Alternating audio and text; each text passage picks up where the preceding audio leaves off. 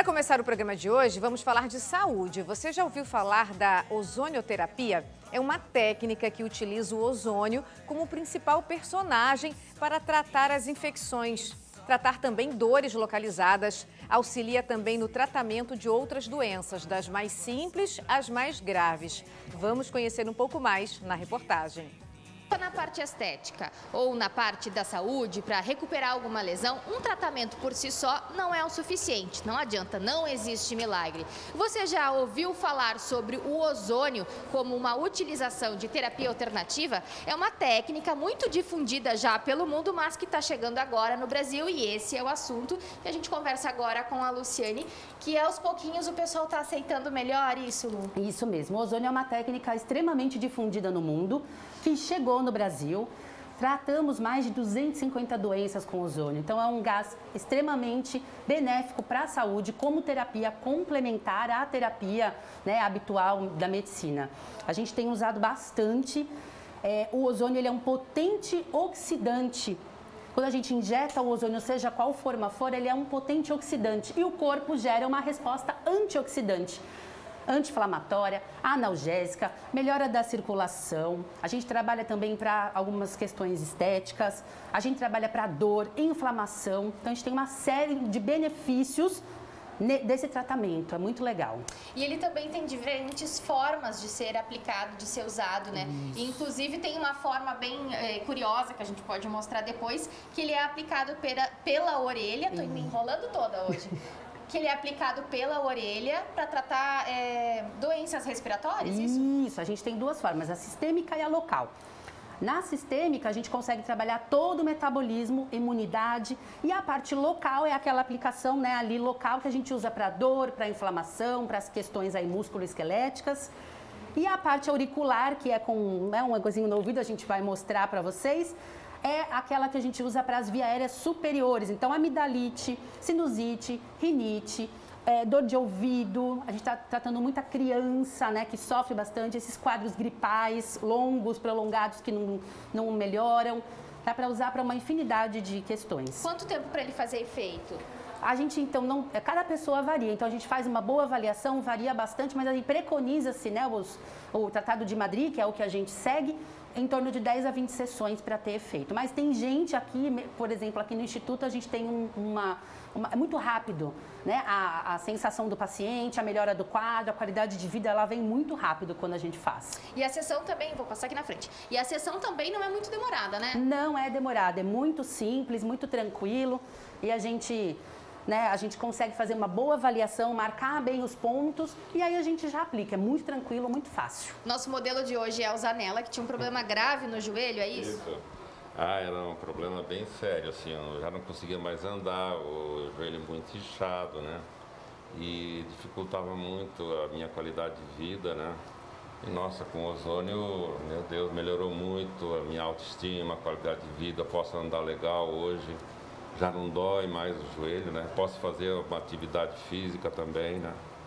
Melhorou bastante. Nossa, é fantástico. Eu tive fazendo exercício aqui, é importante frisar isso. Não existe milagre, né, Lu? Isso. É um complementar. A gente, eu costumo dizer que o ozônio é um tratamento complementar, coadjuvante, tanto ao tratamento médico convencional, que a gente não exclui de modo algum, porque ele não interage com nenhum tipo de medicamento, mas também o que vai proteger de fato, no caso do Zanella, que tem uma artrose no joelho, como muitas pessoas hoje em dia têm, a gente precisa fortalecer a musculatura. Então, o ozônio trabalha na inflamação e na dor e a gente fortalece a musculatura para garantir que ele tenha função, que ele tenha as atividades de vida diária com uma boa função. E já existem evidências científicas é, do funcionamento dessa técnica. Com certeza, tem uma infinidade de evidências científicas. Alguns países usam muito, Estados Unidos, Alemanha, Rússia, Espanha, muitos países já estão utilizando há muito tempo a ozonioterapia como tratamento coadjuvante. Aqui no Brasil já está até reconhecido pelo SUS. Isso, inclusive ele foi reconhecido em 2008 como parte das práticas integrativas complementares pelo Sistema Único de Saúde. Ah, que maravilha. Vamos aplicar então Vamos aplicar. Vamos mostrar então a aplicação local, como que a gente faz. O oxigênio, a gente usa um oxigênio medicinal, como aquele do hospital, todo mundo conhece. Ele passa pela máquina, sofre uma descarga elétrica e aí a gente consegue coletar o ozônio direto da máquina. Então, ó, o ozônio vai ser coletado aqui na seringa, ele subiu na seringa, como vocês podem ver. A gente pega, ele não sai da seringa? Não, todo mundo me pergunta isso. Ele não sai? Não. A gente coloca a agulhinha, uma agulhinha bem fininha, não dói nada, dói mais a dor do joelho, né, é, Zanella? A gente faz a aplicação, tem toda a marcação para isso acontecer, né? Então a gente marca a região anatômica corretamente. E aí, a gente vai fazer a aplicação. Aqui no Zanella, eu faço sempre a aplicação intraarticular. Então, ó, é uma aplicação bem tranquilinha, vou dar uma picadinha nele. A gente coloca o gás de maneira lenta para que ele não sinta dor. Olha lá. Foi, foi. Tirou, a gente massageia para espalhar esse gás. Tranquilo, Zanella? Bem, bem, bem, bem tranquilo. Não, não dor. E por Nem último, a gente faz o que? A gente movimenta o joelho um pouquinho. Isso. Para esse gás espalhar lá na articulação.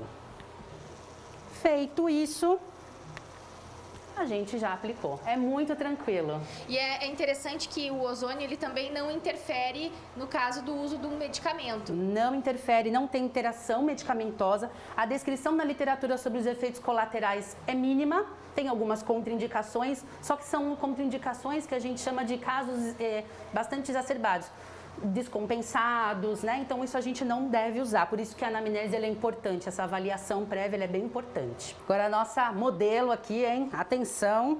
Eu forma... não me arrepender. forma auricular. A gente coloca esse estetozinho, que é igual aquele de médico que ouve o coração, mas na verdade ele tem um furinho aqui, esse caninho. Então, que vai lá no ouvido, ó, a gente encaixa, já coletamos o ozônio na seringa e a gente aplica devagar vai sentir um ventinho lá no ouvido. O que, que ele vai fazer? Ele vai entrar pela via aérea e vai trabalhar onde tiver inflamação, onde tiver dor, às vezes tem dor de cabeça, né?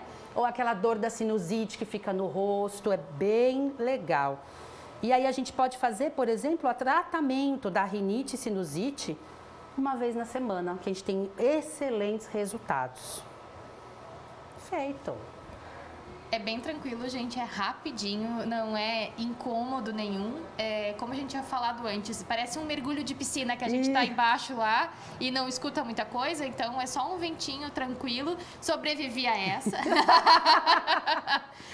e ele age de forma preventiva também? Também. A gente pode trabalhar para a imunidade. Então, a gente tem uma série de protocolos que dá para fazer para a imunidade. Não espera piorar. Eu costumo dizer isso. O sonho de todo profissional de saúde é trabalhar na prevenção.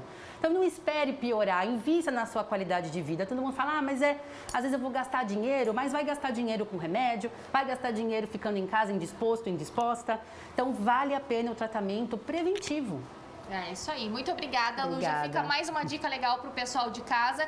Se quiser vir conhecer, pelo menos para matar a curiosidade, também vale, né? Sim, venham, agenda uma avaliação. Eu explico tudo. Essa avaliação não tem custo. Então eu gosto de explicar, mostrar, porque isso é um investimento em saúde que vale a pena. Ah, saúde sempre vale a pena, né? Obrigada. Tchau, tchau. Obrigada. Pessoal.